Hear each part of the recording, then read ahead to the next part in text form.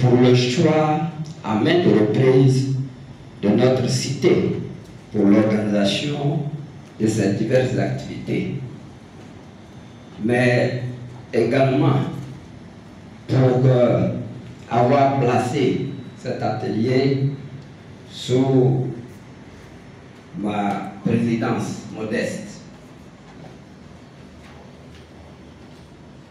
Mesdames et messieurs, dans le souci de triompher des grands défis, le gouvernement a, dans le PND 2021-2025, inscrit en bonne place un système national de veille stratégique et d'intelligence économique qui produit des informations stratégiques visant à orienter objectivement les prises de décision de l'État et améliorer ainsi la gouvernance publique.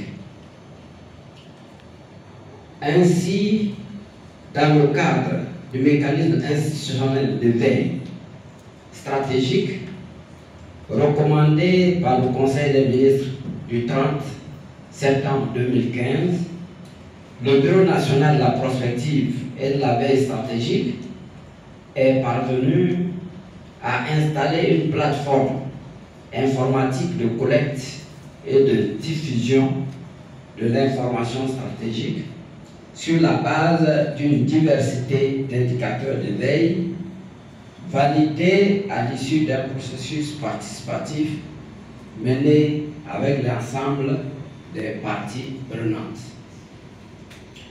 La mise en œuvre de ce projet est articulée autour de sept produits, parmi lesquels figurent, entre autres, la sensibilisation et la formation des acteurs nationaux en veille stratégique et en intelligence économique. C'est l'intérêt du présent rendez-vous.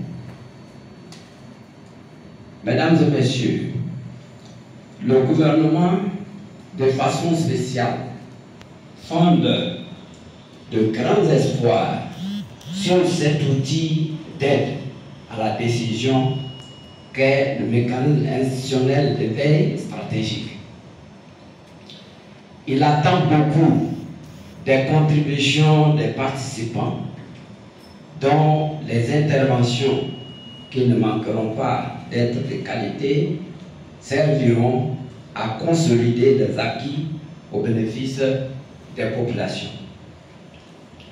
Je voudrais donc euh, vous exhorter à une participation pleine et entière à ce processus innovant en Côte d'Ivoire en vue d'améliorer significativement l'état de la gouvernance dans vos districts et régions par les missions qui vous sont dévolues.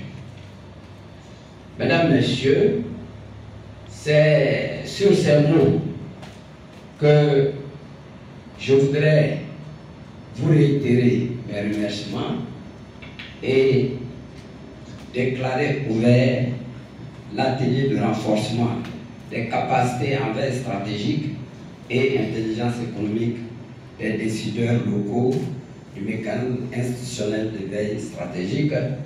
Je vous remercie. Nous remercions M. Kouidali Gondo, préfet du département de Yamsougou. Ainsi,